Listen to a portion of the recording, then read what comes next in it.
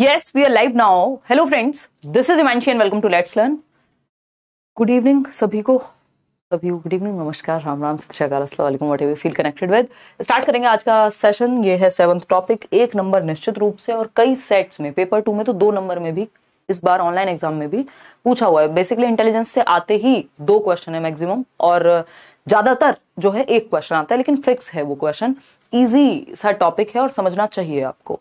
तो स्टार्ट करते हैं। थोड़ा सा हम लोग अगेन लेट हैं बट uh, आज थोड़ा सा और हम स्पीड में करेंगे क्योंकि बेसिकली गार्डनर से क्वेश्चन पूछता है या आईक्यू टेस्ट से? इन्हीं दो चीज़ों पे अब क्वेश्चन आपके आने लग गए इंटेलिजेंस की जब बात कर रहे हैं तो बाकी किसी तीसरे टॉपिक से क्वेश्चन नहीं बनता नज़र आ रहा है इंटेलिजेंस के सेंस में। किसी और थियरी से भी नहीं आता। इंटेलिजेंस की बहुत सारी थियरीज हैं बट या तो आईक्यू यानी इंटेलिजेंस के कॉन्सेप्ट से क्वेश्चन आता है या फिर आपका हार्वर्ड गार्डनर से दैट्स इट तो हार्वर्ड गार्डनर से ही 99 परसेंट चांस रहते हैं कि क्वेश्चन आए। इंटेलिजेंस पे भी एक क्वेश्चन रेयरली आता हुआ नज़र आ रहा है। तो फटाफट से आप जवाब देंगे। क्वेश्चन नंबर वन आपके सामने है। पोल में आंसर करेंगे और समझेंगे कि कहानी है क्या। बताइए। फटाफट से आंसर करेंगे। आज बिल्कुल ब्लैक एंड व्हाइट ही रखा है। जो सेशन का टाइप है, आपको कलर नज़र नहीं आएँगे। देखिए, फटाफट से बताइए। क्वेश्चन नंबर वन का ए कह रहे हैं थर्टी सेवन परसेंट लोग। इंटेलिजेंस क्वेश्चन यानी IQ test are criticised for यानी आलोचना क्यों होती है? ये बहुत बार क्वेश्चन अलग अलग ढंग से पूछा जा चुका है कि आईक्यू टेस्ट को जो बुद्धि लब्धि का परीक्षण है, उसकी आलोचना जो है, वो क्यों होती है? उसका कारण क्या है? आईक्यू टेस्ट को बहुत क्रिटिसाइज किया गया है over the period of time कि हम जो आईक्यू आईक्यू चिल्लाते रहते हैं कि हाई रे आईक्यू सब कुछ आईक्यू ही है इंटेलिजेंस में, इस चीज़ को आज के समय में बहुत ज़्यादा बढ़िया नहीं मान रहे हैं हम। ठीक है ना? इसके बहुत सारे क्रिटिसिज्म भी हैं। तो अगर हम बात करें, पहले तो आपको एक बात दिमाग में आनी चाहिए कि आईक्यू दिया किसने था? आईक्यू का जो कॉन्सेप्ट है संप्रत्य जो है बुद्धि लब्धि का, वो किसने दिया? तो वो आप कमेंट में बताएँगे, उससे पहले हम चर्चा करेंगे कि कहानी है क्या। इंटेलिजेंस कोशेंट को क्यों क्रिटिसाइज किया जाता है? Being considerate of cultural diversity अब इसमें आपने क्या लगा दिया? रटा रटाया जवाब जो हम जनरली देखते हैं। वो हमने इसमें जल्दीबाजी में आंसर कर दिया 41 परसेंट लोगों ने, जिनका आंसर एकदम गलत है। ए ऑप्शन को आपको ठीक से पढ़ना पड़ेगा। सारा खेल लैंग्वेज का है पेडागोजी में। है ना कि आप समझ पा रहे हैं पढ़ के या नहीं? सांस्कृतिक विविधता को ध्यान में रखते हैं। अगर सांस्कृतिक विविधता को ध्यान में रखते होते या ध्यान में जो चीज़ रखती है, वो क्रिटिसिज्म थोड़ी हो सकता है। वो तो बढ़िया पॉजिटिव बात हो गई ना कि अगर सांस्कृतिक विविधता को कि अमेरिकन कल्चर के लोग अलग तरह से इंटेलिजेंट होंगे चाइना में कुछ और इंटेलिजेंस हो सकता है इंडिया में कुछ और। मतलब हो सकता है बुद्धि का या हमारे मानसिक क्षमताओं का। तो कल्चरल डाइवर्सिटी को अगर आप एक, आपका एक टेस्ट ध्यान में रख पा रहा है, वो अच्छी बात है। जबकि ये कल्चरली बायस होते हैं ज़्यादातर टेस्ट कि अमेरिकन के लिए अगर कोई टेस्ट बना हुआ है, ज़्यादातर वेस्टर्न कल्चर के हिसाब से डिजाइंड होते हैं आईक्यू टेस्ट तो ये तो इनकी प्रॉब्लम है। डाइवर्सिटी का ध्यान कुछ खास रख नहीं पाते हैं। बहुत कम टेस्ट हैं, जैसे वो रावंस मैट्रिक हो गया, आपका रेवंस मैट्रिक जिसको हम क्या कहते हैं कि कल्चर फ्री टेस्ट है, कि कल्चर का इस पर प्रभाव नहीं पड़ता। कोई भी व्यक्ति किसी भी कल्चर का दे दे सेम रिज़ल्ट आएगा। जबकि ज़्यादातर टेस्ट में क्या हालत है कि वेस्टर्न कल्चर की तरफ़ बायस्ड हैं वो वेस्टर्न कल्चर की तरफ़ बायस्ड हैं वो टेस्ट या फिर मान लीजिए एक ब्रिटिश व्यक्ति या वहाँ का व्यक्ति अगर कुछ जिस कंट्री के हिसाब से वो टेस्ट बनाए, वो दे तो ज़्यादा स्कोर आएगा, हम देंगे तो शायद कम आएगा। तो ये तो इनके साथ एक प्रॉब्लम है है ना? ये क्रिटिसिज्म नहीं है कि कंसिडरेट है कल्चरल डाइवर्सिटी को लेकर अगर होते तो ये तो पॉजिटिव बात हो जाती। Conceptualising intelligence as a set of different abilities यानी बुद्धि क्या है? बहुत सारी क्षमताओं का एक समूह है, जो कि फैक्ट है, सही बात है।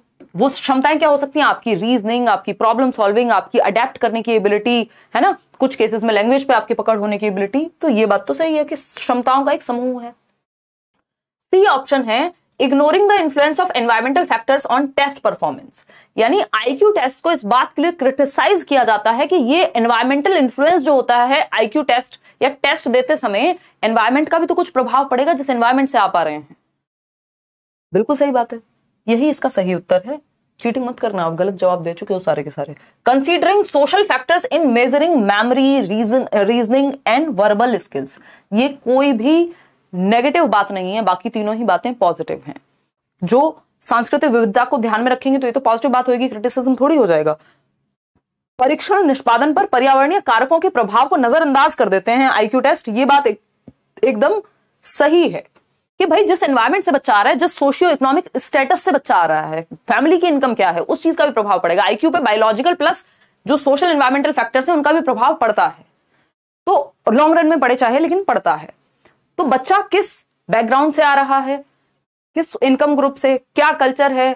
किस तरह की सुविधाएँ वहाँ एजुकेशन अपॉर्चुनिटीज़ कैसी हैं? बहुत सारी चीज़ों का फ़र्क पड़ता है, लेकिन ये आईक्यू टेस्ट सबको इग्नोर कर देते हैं और बस चुपचाप से एक नंबर निकाल के दे देते हैं कि यही है इंटेलिजेंस तो ये बात यहाँ गलत हो गई, बाकी बातें सही थी। यही इसका एक क्रिटिसिज्म है कि एनवायरमेंटल फैक्टर्स को तो ये नकार देते हैं कि एक व्यक्ति है जो अमेरिका में है, एक व्यक्ति है जो भारत में है, एक व्यक्ति है जिसके पास सारी चीज़ें हैं तो उसकी संतान ऑफकोर्स ज़्यादा बेहतर कर पाएगी।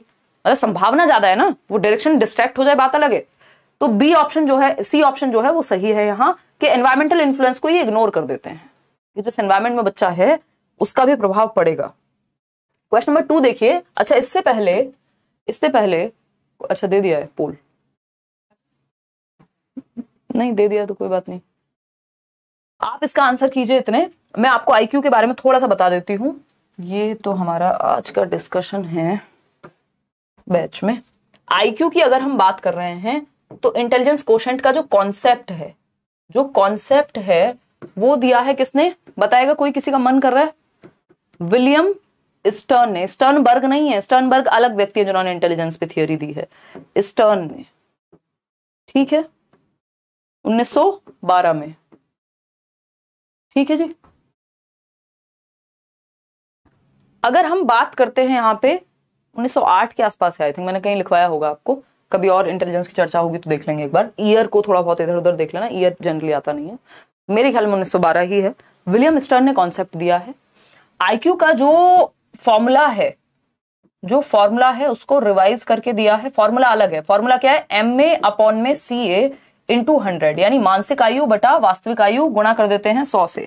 तो अगर आईक्यू निकालना है तो मान लीजिए, मानसिक आयु, जिस लेवल पे मेंटल एबिलिटी बच्चे की दिमाग काम करता है, उसका वो है अट्ठारह साल, और जितने साल का वो है क्रोनोलॉजिकल एज या वास्तविक आयु, वो है पंद्रह साल। सौ से गुणा कर देंगे आईक्यू निकल करके आ जाएगा। ये फॉर्मूला है। ये फॉर्मूला प्रॉपर रिवाइज करके किसने दिया? ये दिया आपका लुई टर्मन ने। 1916 में। सही बता रही हूँ मैं आपको, कोई गलत नहीं है। 1912 की है वो। 1916 में स्टैनफोर्ड यूनिवर्सिटी में। 1905 की जो आप बात कर रहे हैं, वो इंटेलिजेंस का पहला टेस्ट आया था एल्फ्रेड बिने के द्वारा। 1908 में, जिसकी मैं बात कर रही थी 1908 में मेंटल एज दिया था एल्फ्रेड बिने ने, ये सब चीज़ें अलग अलग दी गई हैं। ये मेंटल एज एल्फ्रेड बिने ने दिया 1908 में। अगर हम बात करें क्रोनोलॉजिकल पहले से होता था क्रोनोलॉजिकल क्योंकि वास्तविक आयु तो हमेशा से ही है ना। आईक्यू का कॉन्सेप्ट जो संप्रत्य दिया, वो स्टर्न ने। जो फॉर्मूला रिवाइज करके दिया, वो टर्मन ने। थर्स्टन है कि टर्मन है? दिमाग थोड़ा सा मेरा। हाँ। इसके अलावा अगर हम बात करते हैं लुई टर्मन ही है। थर्स्टन का अलग है वो सिद्धांत। लुई टर्मन ने 1916 में स्टैनफर्ड के अंदर ये फॉर्मूला दिया रिवाइज करके, और तीसरी एक चीज़ है आपकी, ये जो कहानी है हमारी मेंटल एज की। तो मेंटल एज 1908 में एल्फ्रेड बिने के द्वारा, और पहला इंटेलिजेंस का टेस्ट एल्फ्रेड बिने के द्वारा। ठीक है ना? हाँ टर्मन ही है, कोई दिक्कत नहीं है। ठीक है जी, ओके। डन। चले आगे बढ़े। नेक्स्ट क्वेश्चन देखते हैं। आ की कैरेक्टरिस्टिक ऑफ़ गिफ्टेडनेस ये आपका टॉपिक इंक्लूसिव एजुकेशन में भी आएगा बट क्योंकि ये इंटेलिजेंस से भी जुड़ा हुआ है ये वाला पर्टिकुलर क्वेश्चन तो इसको समझ लेते हैं। गिफ्टेडनेस का एक कैरेक्टरिस्टिक बताना है। प्रतिभाशाली बच्चों की एक प्रमुख विशेषता बतानी है। गिफ्टेड बच्चा गिफ्टेड से मतलब ही है कि गिफ्ट मिला है, जैसे गॉड गिफ्टेड काइंड ऑफ़ कि किसी भी एक क्षेत्र में विलक्षण होगा। विलक्षण बुद्धि या फिर हम कहेंगे एक्सेप्शनल होगा, कुछ अच्छा करेगा, कुछ डिफरेंट होगा। तो गिफ्टेडनेस का कैरेक्टरिस्टिक विशेषता पहचाननी है हमको। लैक ऑफ़ क्रिएटिविटी नहीं। आप लोग इसमें सही उत्तर दे रहे हैं। High levels of intellectual ability gifted उसको कहेंगे, जिसमें उच्च स्तर की बौद्धिक क्षमताएँ हैं, जिसका मानसिक स्तर बाकी बच्चों से कहीं ऊपर है।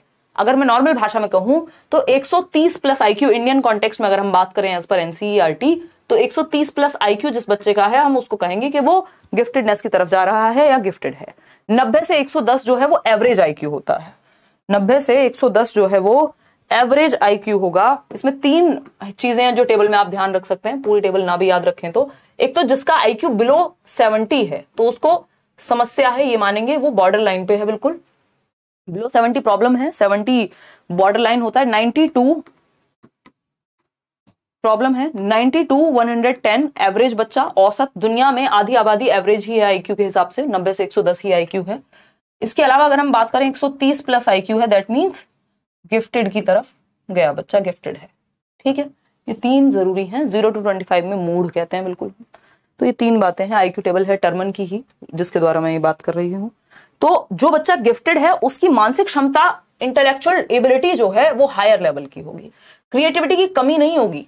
कम्युनिकेशन स्किल इंपेयर्ड होंगी नहीं। ज़्यादातर ये देखा जाता है कम्युनिकेशन स्किल्स अच्छी होती हैं। Tendency to copy others ideas ये तो एकदम बकवास बात हो गई। है ना?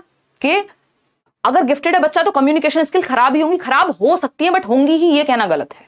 टेंडेंसी दूसरों को कॉपी करने की नहीं, वो इनोवेटिव होगा। तीन चीज़ें बताई हैं। रेंजोली ने, जिसके आधार पर क्वेश्चन ज़्यादातर बनते हैं गिफ्टेडनेस के कैरेक्टरिस्टिक के बारे में रेंजोली ने कहा है रेंजोली एक व्यक्ति है, जिनका एक थ्री सर्कल मॉडल है, किसको लेके? गिफ्टेडनेस को लेके। थ्री रिंग कह लीजिए, इसको सर्कल भी नहीं थ्री रिंग मॉडल है, जैसे आपके वो ओलंपिक्स में नहीं होते हैं रिंग ठीक एसीसी से मैंने आपको एक शॉर्ट फॉर्म दी हुई है एसीसी सीमेंट आता था ना पहले एसीसी यानी हायर एबिलिटी क्षमता ज़्यादा होती है इनमें, मानसिक क्षमता जो है higher mental ability higher creativity रचनात्मकता ज़्यादा होती है, कुछ नया करने की क्षमता ज़्यादा होती है गिफ्टेड बच्चे में। और हायर कमिटमेंट लेवल कमिटमेंट मतलब जब तक तोड़ेंगे नहीं, तब तक छोड़ेंगे नहीं, आसानी से गिव अप नहीं करते चीज़ों पे। ठीक है ना? तो ये क्या हुआ? ये तीन रिंग जिसमें कॉमन है, वो गिफ्टेड है। तो जो यहाँ पे कॉमन होगा वो गिफ्टेड कहलाएगा। इसमें इन्होंने आईक्यू के बारे में ना बात करके मतलब आईक्यू ज़्यादा है हायर एबिलिटी 130 प्लस आईक्यू मान लीजिए आप। हायर क्रिएटिविटी रचनात्मकता ज़्यादा है बाकी बच्चों से और कमिटमेंट भी ज़्यादा है, किसी कार्य के प्रति डटे रहने की क्षमता। तो ये एसीसी ज़रूर याद रखना होता है, इससे एक क्वेश्चन आपका हर हालत में सॉल्व हो जाएगा। तो A option is the right answer question number three पे चलेंगे फटाफट से। देखेंगे क्वेश्चन नंबर थ्री है individuals with dash are able to distinguish between specific pitches tones and rhythms that may miss मतलब क्या है? डैश वाले व्यक्ति विशिष्ट स्वरों, लय और ताल के बीच अंतर करने में सक्षम होते हैं, जिसे पहचानने में अन्य चूक सकते हैं। मतलब किस प्रकार की बुद्धि होगी जो लोग जो पिचेस हैं? पिचेस समझते हैं tones pitches high high pitch पे बोल रहा है, कोई थोड़ा सा तेज आवाज़ में, कोई लोअर पिच पे बात करेगा टोन में उतार चढ़ाव होता है इंटोनेशन बोलते हैं, आवाज़ में उतार चढ़ाव को। है ना? रिदम्स रिदम आप म्यूज़िक सुनते होंगे नोट्स होते हैं। जिनको ज़्यादा शौक होता है म्यूज़िक का तो नोट्स होते हैं। वो कई लोग होते हैं जिनको धमधम पसंद होती है, सिर्फ़ बेस चाहिए उनको। तो रिदम्स है ना? हाँ शौर्य को। दैट अदर मे मिस यानी दूसरों को शायद वो टोन जैसे अभी हम कल परसों, हमारी नई कार आई है तो हम गए हुए थे। निशा साथ में ही थी तो कोई गाना था। तो वो उसका म्यूज़िक सिस्टम कंपेयर टू जो हमारी पहले वाली गाड़ी है। उसके कंपेयर कंपैरिजन में थोड़ा कमज़ोर है, ये कहेंगे हम। अच्छा है वैसे। तो हम वही बात कर रहे थे कि यार, ये मनाली ट्रेंस सॉन्ग है, आपको बताइए कि यार, ये बीट्स को जस्टिफाई नहीं कर पा रहा है, ये वाला म्यूज़िक सिस्टम ये शोर मचाने के लिए बढ़िया है पंजाबी गाने चलाओ इसमें। लेकिन अगर आपको एक एक नोट चाहिए तो वो थार में मज़ा नहीं आएगा, उसके लिए नया सिस्टम लगवाओ, या तो या ऑडियो में जाके सुनो, या किसी और, जो भी आपके पास अच्छा सिस्टम हो। तो बेसिकली जिनको म्यूजिकल इंटेलिजेंस है जिनके अंदर, वो डिस्टिंग्विश कर पाएँगे जो स्पेसिफिक पिचेस होती हैं हाई और लो नोट्स हो गए रिदम्स हो गए टोन हो गया इंटोनेशन उतार चढ़ाव आवाज़ में। तो किसके अंदर होगी ये? ये म्यूजिकल इंटेलिजेंस है। है ना? मैं ये नहीं कह रही म्यूजिकल इंटेलिजेंस मेरे अंदर वो वाला हो गया, ए आर रहमान वाला। मतलब वेरिंग डिग्रीज में हो सकता है ना, सब में अलग अलग बुद्धि का प्रकार, खिचड़ी है हम लोग तो वैसे भी। ठीक? तो ये क्या होगा? म्यूजिकल इंटेलिजेंस यानी संगीत में बुद्धि। ठीक है? म्यूजिकल इंटेलिजेंस जिस व्यक्ति में पाई जाएगी, उसमें साउंड को लेकर के सेंसिटिविटी होगी, म्यूजिकल रिदम्स को लेकर के सेंसिटिविटी होगी, टोन, ये सारी चीज़ों को ज़्यादा वो अच्छे बेहतर तरीके से समझ पाएगा या कंपोज कर पाएगा, म्यूज़िक को बनाना, समझना, ये सब चीज़ें आएँगी। तो म्यूजिकल इंटेलिजेंस में मज़ाक से हटके अगर हम देखें ए आर रहमान, लता मंगेशकर जी, या जो लोग कंपोज करते हैं म्यूज़िक को, वो लोग, इवन जो डीजेस भी आप देखते हैं आजकल पार्टी में, उनमें भी कुछ हद तक बाकियों से ज़्यादा म्यूजिकल इंटेलिजेंस हो सकती है। है ना? तो लॉजिको मैथमेटिकल लोग तो मैथ्स में अच्छे होंगे बॉडी काइंस्थेटिक ये स्पोर्ट्स में अच्छे होंगे इंटरपर्सनल लोगों के साथ डील करने में अच्छे होंगे। ऐसे कॉन्ग्रेचुलेशन मत लिखो। उसमें ऑलरेडी कुछ प्रॉब्लम है, अभी गई हुई है वर्कशॉप में। तो नई गाड़ी लाया, उसी में दिक्कत। इसलिए हमने अभी ब्लॉग भी नहीं डाला है और फ़ोटोज़ भी नहीं डाले हैं। ठीक? संगीत में बुद्धि यानी म्यूजिकल इंटेलिजेंस चलो, आगे बढ़ते हैं। Question number four question number four क्या कहता है भाई?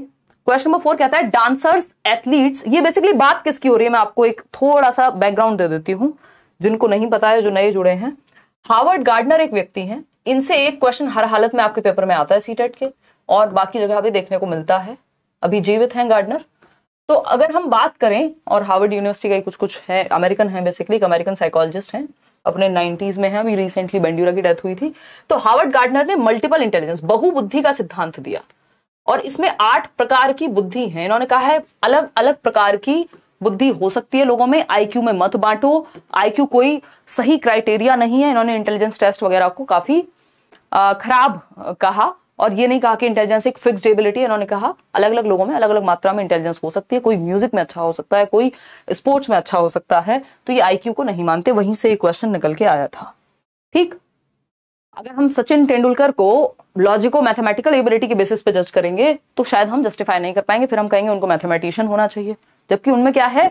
उनमें बॉडीली का इंटेलिजेंस ज़्यादा पाई जाएगी स्पोर्ट्स पर्सन है भाई। ठीक है ना? तो क्वेश्चन नंबर फोर कहता है dancers athletes and actors possess high dash as per Howard Gardner's theory बताइए। फटाफट से बताइए। कोई कह रहा है ऑफलाइन एग्ज़ाम के लिए सिटी चेंज होने का कोई चांस नहीं है क्या? वो जो मुझे नहीं लगता कि ऐसा मौका देंगे, फिर उसमें कई दिन तक समस्याएँ रहने वाली हैं। ये अपने आप ही रैंडमली मिल जाएगा आपको आपकी सिटी के आसपास जो भी आपने सेंटर भरा होगा। लेट्स सी बाकी अगर एक परसेंट ऐसा कुछ हुआ तो बता ही दिया जाएगा बट मुझे लगता नहीं है ऐसा। C option eighty two percent लोग कह रहे हैं। यानी dancers athletes and actors possess high dash as per Howard Gardner spatial intelligence होती है डांस करने वाले लोगों में एथलीट्स में जो स्पोर्ट्स पर्सन है। क्रिकेटर हैं, विराट कोहली हुए, सचिन तेंदुलकर हुए, साइना नेहवाल, है ना? और भी हम कितने भी अभी पहलवान, पहलवानों की बात चल रही थी जो लोग प्रोटेस्ट कर रहे थे तो उनमें भी किस एथलीट हुए ना, वो भी एक तरह से। तो उनमें भी ये इंटेलिजेंस पाई जाएगी। एंड एक्टर्स में भी। एक्टर्स में क्यों? क्योंकि वो डांस भी कर रहे हैं डिफरेंट डिफरेंट चीज़ें परफॉर्म भी कर रहे हैं स्टंट भी कर रहे हैं। तो ये सब क्या हुआ? बॉडी से काम हो रहा है। तो ये बॉडीली का इंटेलिजेंस है। ठीक? Spatial intelligence linguistic intelligence intrapersonal भाई, थोड़ी बहुत मात्रा में इन सब की ज़रूरत होगी, लेकिन मुख्य कैरेक्टरिस्टिक किसका है ये? बॉडीली काइस्थेटिक इंटेलिजेंस के बिना काम नहीं चल पाएगा, आप डांसर नहीं हो सकते। यदि आप अपनी बॉडी को पूरा मैनिपुलेट करना नहीं जानते हैं, या जिमनास्ट हो गए स्पोर्ट्स पर्सन हो गए, है ना? नोरा फतेही मतलब बिना यहाँ कोई। ठीक है? तो ये क्या हुआ? शारीरिक गति गति संवेदनात्मक बुद्धि। हाँ कोई लिख रहा है सपना चौधरी चौधरी। सब सब सब, जो भी लोग डांसर हैं एक्टर्स भी हैं इवन एथलीट्स हैं डांसर्स हैं मतलब जो भी बॉडी से कुछ भी कर रहे हैं जिमनास्ट हैं स्विमर्स हैं तो ये चाहिए होती है बॉडी का एस्थेटिक इंटेलिजेंस इसका मतलब उनमें है। शारीरिक, गतिक, संवेदनात्मक बुद्धि, यानी बॉडी को मैनिपुलेट करने की क्षमता है, उनमें वो बॉडी से काम ले सकते हैं। क्वेश्चन नंबर फाइव देखिए एक बार। Which of the following intelligence type is not propose by Harvard Gardner in his theory of multiple intelligences यानी हार्वर्ड गार्डनर ने अपने बहुबुद्धि सिद्धांत में निम्न में से किस बुद्धि प्रकार को शामिल नहीं किया है? मैंने आपको बताया, आठ प्रकार की बुद्धि की बात हुई है। हैं तो इससे भी ज़्यादा आज के समय में, लेकिन आपको आठ ही मानने हैं। उसका रीजन है एनसीआरटी e आपकी एट को ही अभी तक कंसिडर करती हैं। तो आपको एक्स्ट्रा में बहुत आगे नहीं जाना है। इस पर मैंने एक वीडियो बनाया हुआ है, जिन्होंने ये थियोरी ना देखी हो। सर्च कर लीजिएगा multiple intelligence by Himanshu Singh या हावर्ड गार्डनर लेट्स लर्न कुछ भी लिखोगे आ जाएगा। गूगल पे भी यूट्यूब पे भी। सी ऑप्शन 83 परसेंट लोग कह रहे हैं। यानी which of the following type is not propose by Gardner यानी किसी और का है वो टाइप इन्होंने एक बुक दी थी फ्रेम्स ऑफ़ माइंड करके 1983 में, जिसमें ये सात प्रकार बताए थे शुरुआत में बुद्धि के, फिर बाद में आठ हो गए, नौ, दस, ग्यारह हुए। चलिए खैर नेचुरलिस्टिक इंटेलिजेंस बिल्कुल ये है। गार्डनर वगैरह में पाई जाएगी। गार्डनर मतलब जो माली हैं या फिर फार्मर हैं, जो लोग एनवायरमेंट एनवायरमेंटलिस्ट हैं, उन सब में नेचुरलिस्टिक इंटेलिजेंस पाई जाएगी। है या फिर इवन जो डॉग लवर कैट लवर ये सब भी एनवायरमेंट को ही उनमें मतलब एनवायरमेंट को लेके ज़्यादा प्यार है तो नेचुरलिस्टिक इंटेलिजेंस कहीं ना कहीं उनमें भी है। स्पेशल इंटेलिजेंस स्पेशल होती है जो स्पेस से संबंधित हो, दिशाओं को लेकर के ज्ञान, है ना, मूर्तिकार वगैरह हो गए। कॉम्प्रीहेंशन इंटेलिजेंस की बात कोई भी गार्डनर ने अलग से नहीं की, ये किसमें आ जाएगा? लिंग्विस्टिक इंटेलिजेंस में आ जाएगा कॉम्प्रीहेंशन जो है आपका, कि आप भाषा को समझ अच्छा पाते हैं। इंटरपर्सनल इंटेलिजेंस है एक दूसरे को समझने में बेहतर होना इसका मैं अभी से आपको एग्जाम्पल्स इसलिए नहीं दे रही हूँ क्योंकि आगे क्वेश्चन आने वाले हैं, फिर आपको पहले से पता लग जाएगा जवाब क्या देना है। इसलिए मैं ज़्यादा आपको डिटेल में नहीं बता रही तो आंसर क्या हुआ उसका भाई? उसका सिंपल आंसर है कॉम्प्रीहेंशन इंटेलिजेंस ये आठ प्रकार में नहीं आता। क्वेश्चन नंबर सिक्स देखिएगा एक बार। क्वेश्चन नंबर सिक्स क्या कहता है? फटाफट से बताओ। क्वेश्चन नंबर सिक्स क्या कहता है? बताइए बताइए। स्क्रीन क्लियर नहीं है यार, यहाँ से क्लियर है। आप अपने एंड पे ना सेटिंग का ऑप्शन होता है, फिर उसमें सेटिंग वाले बटन पे टच करोगे ऑप्शन पे, फिर जाओगे क्वालिटी 480p दिखा रहा है, देखो मुझे भी, और मुझे 480 में भी क्लियर दिख रहा है तो 1080p कर लो उसको। तो एकदम क्लियर दिखेगा, है ना? एकदम क्लियर दिखेगा। ठीक? जितना क्लियर मैं खुद को नहीं देख पा रही हूँ, आप देख पाएँगे। देखिएगा एक बार, बताइए फटाफट से, जवाब दीजिए। लाइक शेयर करना आजकल आप भूल जाते हैं, और मैं भी थोड़ा सा बिज़ी हो जाती हूँ डिस्कशन में।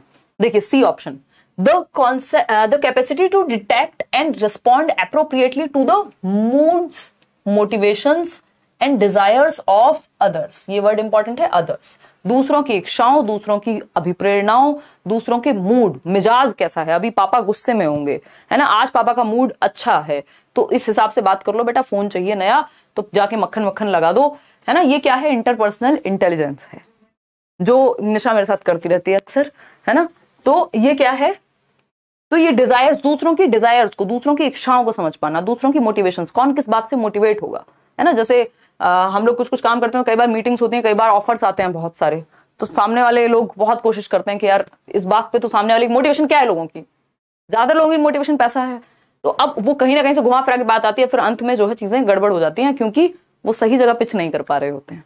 ठीक है ना? ऐसा नहीं है कि मेरी पैसे से कोई दुश्मनी है बट वो मुख्य चीज़ नहीं है।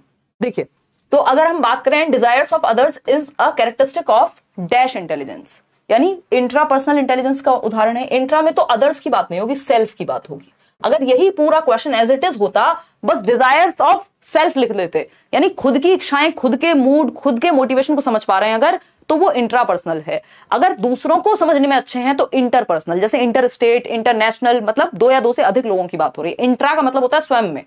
इंट्रा मतलब सेल्फ काइंस्थेटिक होता है बॉडीली काइंस्थेटिक दौड़ना, भागना sports dance interpersonal is the right word यानी C option is the right word या right type of intelligence naturalistic जो है वो गार्डनिंग से संबंधित होगा तो अंतर व्यक्तिक बुद्धि अंत व्यक्तिक होगी तो अंदर। ये क्या है? अंतर व्यक्तिक ठीक है? क्या है? अंतर व्यक्तिक क्लियर है बात? कोई दिक्कत, परेशानी?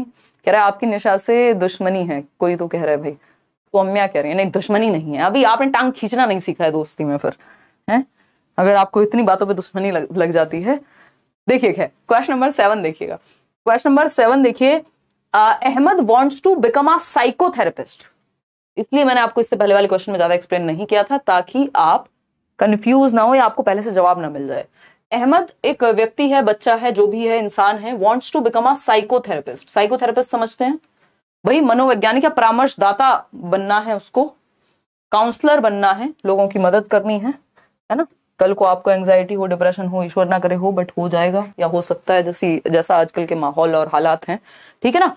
तो अगर इस तरह का आपको परामर्शदाता बनना है, मनोपचारक बनना है, एक काउंसलर बनना है, ताकि आप लोगों को सलाह दे सकें। अच्छा रवि, मैं एक बार बात करती हूँ टीम से।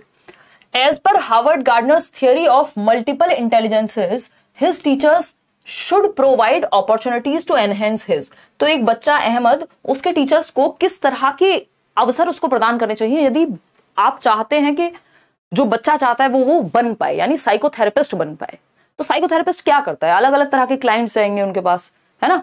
अब वो वहाँ जाके अपने सारे दुखड़े भी रोएँगे। मूवी याद कीजिए डियर ज़िंदगी है ना? शाहरुख खान, आलिया भट्ट। अब एक आलिया भट्ट क्लाइंट को उसमें दिखाया है, और भी क्लाइंट्स होंगे। तो वो अलग अलग पर्सनैलिटी के लोग जा रहे होंगे अलग अलग डिजायर्स रखने वाले लोग जा रहे होंगे अलग अलग मोटिवेशन रखने वाले लोग जा रहे होंगे अलग अलग टेम्परामेंट के, मिजाज के लोग जा रहे होंगे। तो साइकोथेरेपिस्ट को क्या आना चाहिए? लोगों के साथ डील करना, है ना? लोगों के साथ डील करना आना चाहिए, यानी और सिर्फ़ डील करना नहीं कि कुछ भी मैनिपुलेट करके चल जाएगा काम। आपको दूसरों के इंटरेस्ट मोटिवेशंस डिजायर्स इन सबको समझना आना चाहिए, यानी दूसरों को समझना आना चाहिए। तो इसमें कौन सी बुद्धि लगेगी? इंटरपर्सनल, दो या दो से अधिक लोगों की बात हो रही है। लोगों को समझने की बात होगी अदर्स को समझने की बात होगी। तो जवाब हमेशा इंटरपर्सनल होगा अंतर व्यक्तिक होगा अंत व्यक्तिक होता है सेल्फ खुद को जानना। फिलोसफर बनना है तो हम कह सकते हैं इंट्रापर्सनल चाहिए, है ना? कोई सेल्फ डिस्कवरी मंक बनना है तो हम कहेंगे इंट्रापर्सनल चाहिए भाई। ईश्वर स्पिरिचुअलिटी की तरफ़ जा रहे हैं। स्पेशल इंटेलिजेंस होती है स्थान से संबंधित, जो आपके आर्किटेक्ट्स वगैरह में म्यूजिकल इंटेलिजेंस पता ही आपको नेचुरलिस्टिक गार्डनिंग हो गई। तो सही उत्तर है डी ऑप्शन आगे बढ़ेंगे क्वेश्चन नंबर एट पर। क्या कहता है question number eight question number eight देखिएगा। Which of the following is not a characteristic of students with giftedness यानी कि कौन सा एक लक्षण नहीं है गिफ्टेड बच्चे का। गिफ्टेड बच्चा कौन है? जो ज़्यादा मानसिक बुद्धि या मानसिक क्षमता रखता है अपनी एज के बच्चों से, उसकी मानसिक क्षमता, उसका आईक्यू ज़्यादा है। अभी बताया था 130 प्लस या high creativity high ability high commitment है। या फिर, और इनके और बहुत सारे लक्षण होते हैं। वोकेबलरी इनके पास ज़्यादा होती है अपनी एज वालों से। कम्युनिकेशन स्किल बेटर होता है। अपने से ज़्यादा एज वालों के साथ दोस्ती करते हैं। जल्दी पढ़ना, जल्दी समझना सीख जाते हैं। ये सारे कैरेक्टरिस्टिक हैं इनके। ज़्यादा क्यूरियस होते हैं। ठीक? तो डी ऑप्शन कह रहे हैं आप लोग। कि कौन सा कैरेक्टरिस्टिक नहीं होगा तो स्लो इन प्रोसेसिंग इन्फॉर्मेशन बिल्कुल सही जवाब 93 परसेंट लोग दे रहे हैं। जानकारी को ग्रहण करने में धीमापन। भाई, जिसकी एबिलिटी हाई है higher ability above average ability है जिसकी, और उसको जानकारी को प्रोसेस करने में समय नहीं लगता, बल्कि ये तो इतनी जल्दी प्रोसेस करते हैं कि बोर हो जाते हैं यदि ज़्यादा इजी टास्क हो तो। तो स्लो इन प्रोसेसिंग इंफॉर्मेशन ये कैरेक्टरिस्टिक गिफ्टेड का नहीं हो सकता, ये स्लो लर्नर का हो सकता है एवरेज इंटेलिजेंस का हो सकता है। अबव एवरेज इंटेलिजेंस लेवल ये तो कैरेक्टरिस्टिक है। हायर ऑर्डर प्रॉब्लम सॉल्विंग यानी ये उच्च स्तर की समस्याओं को सॉल्व करते हैं HOTS higher order thinking skills वाले क्वेश्चंस इनको आसानी से कर पाते हैं। High motivation to master skills मतलब कमिटमेंट होती है हाई कमिटमेंट वही बताया था ना अभी हाई कमिटमेंट होती है, यानी प्रॉब्लम सॉल्व करने के लिए हटते नहीं है, जब तक तोड़ेंगे नहीं, दशरथ मांझी वाला एग्ज़ाम्पल जब तक तोड़ेंगे नहीं, तब तक छोड़ेंगे नहीं। ठीक है ना बात? तो लेकिन स्लो नहीं होंगे प्रोसेस करने में इंफॉर्मेशन को, ये जल्दी सीखते हैं किसी भी चीज़ को। क्वेश्चन नंबर नाइन देखिएगा फटाफट से। क्या कहता है क्वेश्चन नंबर नाइन बताएँगे, देखेंगे। The abilities in dash include manipulating images graphic skills and reasoning anything that would include more than two dimension ध्यान से समझिएगा टू डायमेंशन यानी थ्री में समझने की क्षमता है व्यक्ति में। जो सामने नहीं है, उसको भी वो दिमाग में इमेजिन करके एक मैप पे बना सकता है, घर का नक्शा बनाना हो, है ना? इंटीरियर डिजाइनर्स होते हैं जो आपको दिखाएँगे, देखेंगे आपका घर या कोई भी स्पेस और उसको कुछ का कुछ बना के रख सकते हैं। क्यों? क्योंकि उनके पास वो इमेजिनेशन है, वो ग्राफिक स्किल्स है उनके ब्रेन में, वो रीजनिंग पावर है, किस स्पेस में क्या लगना चाहिए, कहाँ पे गमला रखेंगे, कहाँ पे झाड़ू रखेंगे, है ना? या फिर मान लीजिए कोई कार का ही जो भी नक्शा बनाने किसी ना किसी ने तो वो डिज़ाइन की होगी ना डिज़ाइनर है अगर कोई ग्राफिक स्किल्स वो चाहिए ना। एक जो आप ये स्क्रीन पे देखते हैं आ, कोई अच्छी इमेज बनी हुई तो उसके लिए भी कोई ग्राफिक डिज़ाइनर लगा होगा। ठीक है ना? तो ए ऑप्शन जो है लॉजिको मैथमेटिकल कह रहे हैं कई लोग। यार ग्राफिक स्किल्स है इमे, इमेजेस को मैनिपुलेट करने की बात हो रही है और आप कह रहे हैं कि लॉजिको मैथमेटिकल हो गया। भाई रीजनिंग तो इनको भी चाहिए। भाई टू डायमेंशन से ज़्यादा की बात हो रही है। अब ये सिर्फ़ एक वर्ड रीजनिंग आ गया, इसलिए लॉजिको मैथमेटिक मत लगा मैथमेटिको मत लगा दो। जब तक यहाँ रीजनिंग मैथमेटिकल की बात नहीं होती, आप बाकी पूरी लाइंस भूल गए, सिर्फ़ एक वर्ड पे चले गए कि एंड रीजनिंग तो तर्क तो भाई ग्राफिक स्किल में भी चाहिए इमेजेस को, चलो उसमें तो उतना नहीं चाहिए मैनिपुलेट करने में, लेकिन फिर भी मैनिपुलेट करने में ये वाली इमेज यहाँ नहीं, यहाँ लगेगी, ये भी तो रीजनिंग लगेगी इसमें। अगर आप एक एक अच्छा सा पोस्टर भी बना रहे हैं तो उसमें भी तो कहीं ना कहीं आप सोचोगे ना, ये वाली चीज़ यहाँ नहीं, यहाँ आनी चाहिए। तो कहीं ना कहीं रीजनिंग तो प्रयोग हो ही रही है। ग्राफिक स्किल्स हो गई टू डायमेंशन के बियॉन्ड सोचना। यानी बिल्डिंग बन के ऐसी लगेगी अभी खाली ज़मीन है, ये क्या है? बुर्ज खलीफा बनाया होगा किसी ने भाई टू डायमेंशन के अराउंड सोचा तो होगा ना, पहले से। तो ये स्पेशल इंटेलिजेंस कहलाती है, जो आपके आर्किटेक्ट्स में होती है, आपके मूर्तिकार स्कल्पचर्स में होती है। ठीक है ना? तो ऐसी गड़बड़ नहीं करनी है लॉजिको मैथमेटिको अब आप रीजनिंग वाली बात से इसको जोड़ देना है, वो गलत नहीं है। लेकिन आपको समझना पड़ेगा, कहना क्या चाह रहा है क्वेश्चन और किस तरफ़ जा रहा है। भाई, ऐसे तो पायलट में बॉडीली काइंस्थेटिक इंटेलिजेंस भी चाहिए। बॉडीली काइंस्थेटिक भी चाहिए और स्पेशल इंटेलिजेंस भी चाहिए। तो आप स्पेशल नहीं लगा देंगे अगर दोनों लिखे हो तो फिर आपको बॉडीली काइंस्थेटिक लगाना है, क्योंकि अगर पायलट के पेट में दर्द हुआ तो स्पेशल इंटेलिजेंस रखी रह जाएगी। मतलब समझ पा रहे हो ना बात को? तो एक मेजर लक्षण होगा किसी भी क्षेत्र में जाने के लिए, वो मेजर चीज़ ढूंढनी है आपको उस ऑप्शन में। क्वेश्चन नंबर टेन है as per recent conceptualisation of intelligence IQ test are not appropriate to assess an individuals intelligence because they are often यानी बुद्धि के समकालीन संप्रत्यों के अनुसार, यानी आज के समय पे यह एक धारणा निकल करके आ रही है कि बुद्धि लब्धि जो परीक्षण है, जो आईक्यू के टेस्ट हैं, वो व्यक्ति की बुद्धिमत्ता को जांचने के लिए उपयुक्त नहीं है प्रॉपरली बहुत बढ़िया नहीं मान रहे हैं हम इनको, कि प्रॉपरली असलियत में नहीं जान पा रहे हैं आईक्यू टेस्ट रियल में नहीं बता पा रहे कि एग्जैक्टली exactly क्या उसके अंदर क्षमताएँ होंगी व्यक्ति के अंदर। इसका रीजन क्या है? अभी शुरुआत में ही बात की थी, ज़्यादातर जो टेस्ट हैं वो कल्चरली बायस्ड हैं या वेस्टर्न कल्चर की तरफ़ झुके हुए हैं। कल्चर फ्री टेस्ट बहुत कम है। जैसे रेवंस मैट्रिक्स एक टेस्ट है जो पेपर में आता भी है। वैलिड है रिलायबल है कॉम्प्रिहेंसिव है, ये सारी बातें ठीक है बट इसका एक रीजन है कि वो क्यों अप्रोप्रिएट नहीं है, क्योंकि कल्चरली बायस है। जिस संस्कृति के लिए, मान लीजिए अगर आप भारत के संदर्भ में एक टेस्ट बना रहे हैं तो कौन उस पर अच्छा स्कोर करेगा? अमेरिकन बच्चा नहीं कर पाएगा, क्योंकि उसको पता ही नहीं है यहाँ किस तरह की चीज़ें होती हैं। वो कॉन्सेप्ट उसके लिए उतने फैमिलियर ही नहीं है। Question number eleven question number eleven देखिए। As per Harvard Gardner's theory of multiple intelligence ability to understand others emotions feelings and moods is directly related to intelligence यानी हार्वर्ड गार्डनर के बहुबुद्धि सिद्धांत के अनुसार दूसरों के संवेगों, यानी दूसरों के इमोशंस अदर्स लिखा है ना? सेल्फ लिखा हो तो आंसर बदल जाएगा। अदर्स लिखा है। दूसरों के इमोशंस संवेग, उनकी भावनाएँ, उनकी मनोदशा को समझने की क्षमता इंटरपर्सनल इंटेलिजेंस सिंपल सरल, सुंदर, सस्ता टिकाऊ आंसर इससे आसान जवाब नहीं मिल सकता। क्योंकि इंट्रापर्सनल में सेल्फ खुद को समझने की क्षमता है। आप थेरेपिस्ट बन रहे हैं काउंसलर बन रहे हैं, नेताजी भी बन रहे हैं अगर तो इंटरपर्सनल इंटेलिजेंस चाहिए, ठीक है ना? लोगों को समझने की क्षमता चाहिए। आगे बढ़ेंगे क्वेश्चन नंबर ट्वेल्व देखिए क्वेश्चन नंबर ट्वेल्व क्या है। तो लिंग्विस्टिक यहाँ सेकेंडरी हो जाती है फिर। कई लोग कहेंगे, बात करना भी तो आना चाहिए। वो उसमें सब कुछ आ जाएगा फिर इंटरपर्सनल में। अजर्शन की अगर हम बात कर रहे हैं, एक है अजर्शन दूसरा है उसका रीजन कथन क्या है? Teachers should use standardized IQ test to measure children's intelligence यानी टीचर्स को स्टैंडर्डाइज्ड आईक्यू टेस्ट जो बने बनाए आ रहे हैं, उनको स्टैंडर्डाइज मानकीकृत को यूज़ करना चाहिए।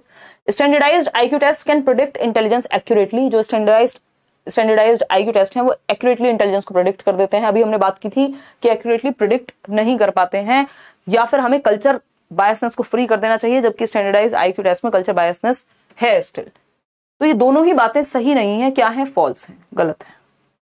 एक्यूरेटली प्रिडिक्ट नहीं करते। आईक्यू के तो खिलाफ बात जा रही है आजकल। चलिए खैर, आगे बढ़ते हैं। नेक्स्ट क्वेश्चन पे क्वेश्चन नंबर थर्टीन देखिए। Individuals having high dash have sensitivity to rhythm pitch metre tone melody अब उसी क्वेश्चन को घुमा करके पूछ लिया। सिंपल इसका पोल मत दो, तुम लेट करोगे। ठीक है ना? म्यूजिकल इंटेलिजेंस सिंपल है ना? आज आदि पुरुष देखने जाना है। सह परिवार। देखिए एक बार। म्यूजिकल इंटेलिजेंस यानी संगीत में बुद्धि। जमाने हो गए, मुझे लग रहा है हम तीनों तो गए ही नहीं आज तक, एक भी मूवी मैं शौर्य दीदी वो दोनों गए हैं। म्यूजिकल इंटेलिजेंस यानी rhythm pitch metre tone melody ये सब संगीत में बुद्धि। ठीक? इसी में आएँगे। लिंग्विस्टिक में नहीं आएँगे। लिंग्विस्टिक से मत जोड़ो ना, क्योंकि लिंग्विस्टिक में टोन एक मिनट एक मिनट एक मिनट एक मिनट एक मिनट एक मिनट कुछ तो गड़बड़ हुई है। Individuals having high dash have sensitivity to rhythm pitch metre tone melody दोनों तरफ़ ले जा सकता है यार इसको। लय ताल स्वर माधुर्य।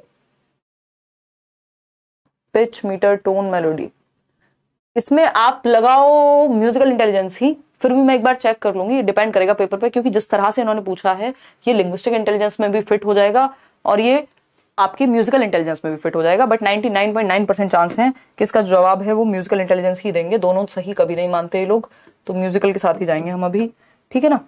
आगे बढ़ेंगे क्वेश्चन नंबर फोर्टीन पे IQ test are often criticised for यानी इनकी आलोचना क्यों होती है आईक्यू टेस्ट की? बताइए फटाफट से।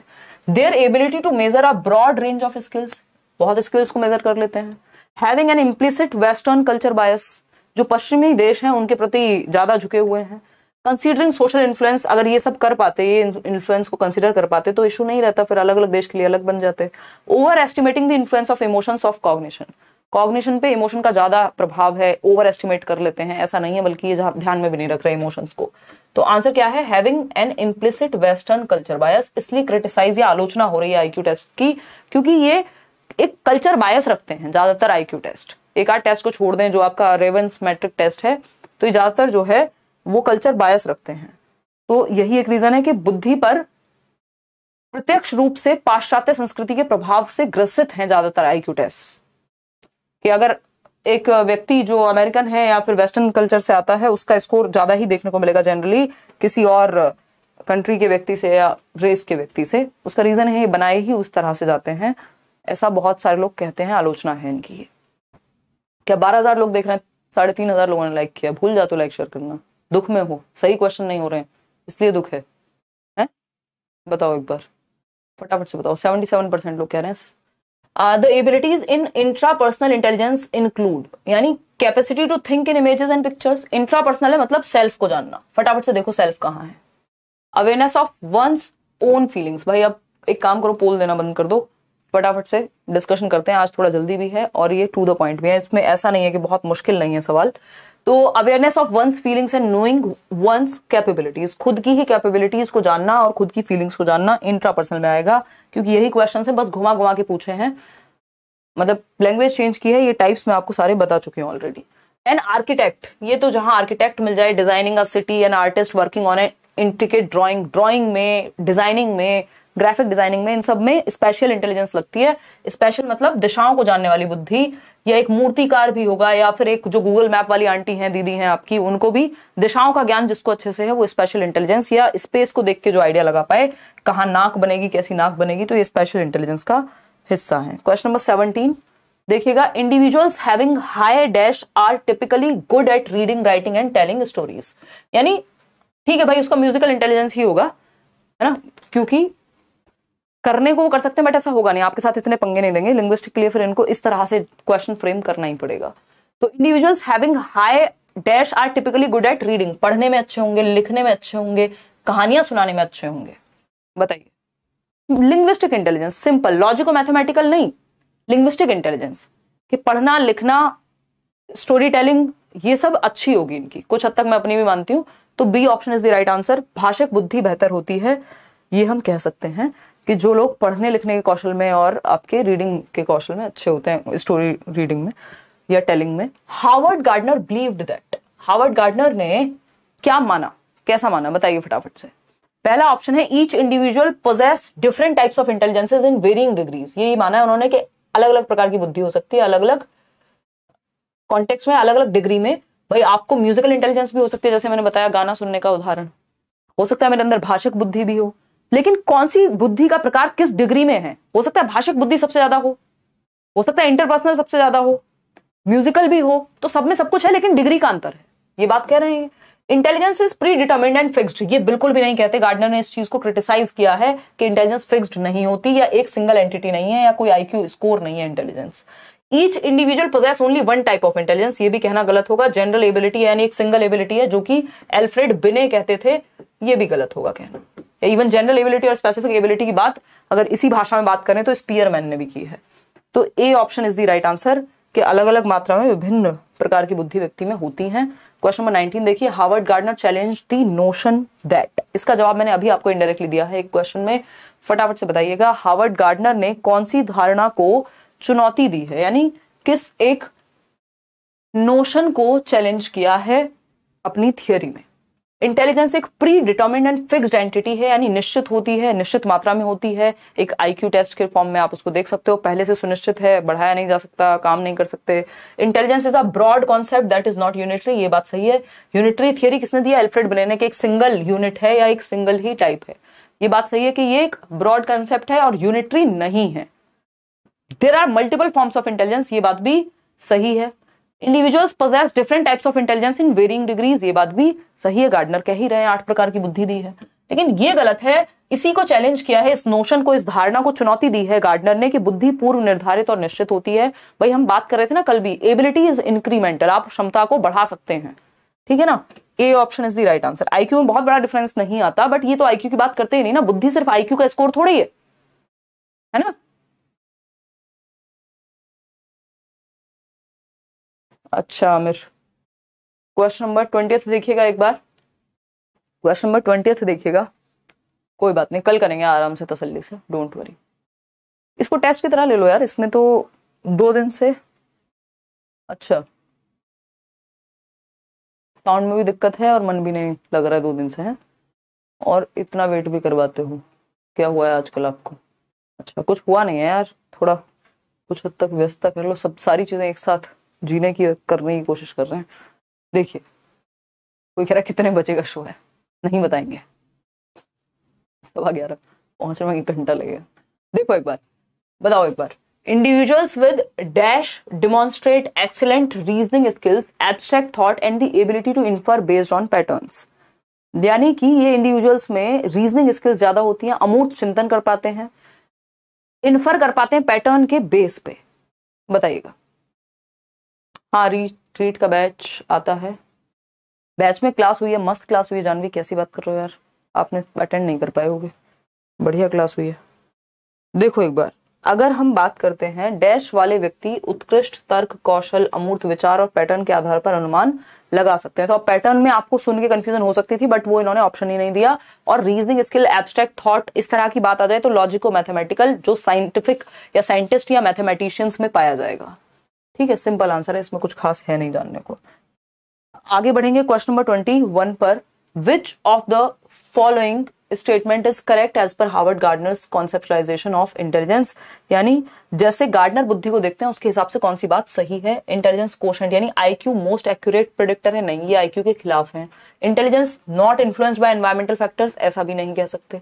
Individuals possess different levels of different kind of intelligence यानी व्यक्तियों में विभिन्न प्रकार की बुद्धियों के विभिन्न स्तर पाए जाते हैं। आठ प्रकार की बुद्धि है और ये आठ के आठ प्रकार ज़रूरी नहीं है, हर व्यक्ति में बराबर होंगे, किसी में कोई प्रकार कम होगा, किसी में ज़्यादा होगा। ग्रुप टेस्ट जो है, वही बेस्ट तरीका है, ये तो टेस्ट को मानते ही नहीं है बुद्धि को जांचने का सही तरीका। तो विभिन्न व्यक्तियों में विभिन्न प्रकार की बुद्धि पाई जा सकती है। C option is the right answer over here question number twenty second देखिए, क्या है ये? Rajni is really good at creating mental representation and transformation of seen objects mental representation जो भी मेंटली इमेजेस को इमेजिन कर सके डिज़ाइन कर सके मैनिपुलेट कर सके, है ना, दिशाओं को समझ सके, समझ जाओ किसकी बात हो रही है मेंटल रिप्रेजेंटेशन थ्री में समझ सके, मानसिक चित्रण की बात हो गई, है ना? क्या है स्पेशल इंटेलिजेंस है सिंपल जवाब, कोई दिक्कत नहीं, आगे बढ़ेंगे।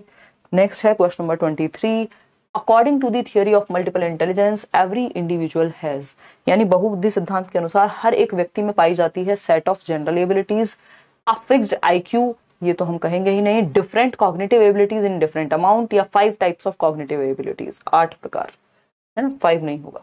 फिर क्या हुआ? सेट ऑफ़ जनरल एबिलिटी हो गया कि एक बस वही कुछ बेसिक क्षमताएँ हैं अलग अलग नहीं होंगी, ये बात भी गलत हो जाएगी। Different cognitive abilities in different amounts यानी अलग अलग मात्रा में भिन्न संज्ञानात्मक क्षमताएँ होंगी। किसी में म्यूजिकल होगी, किसी में म्यूजिकल भी होगी और एथलेटिक यानी बॉडी का एस्थेटिक ज़्यादा होगी।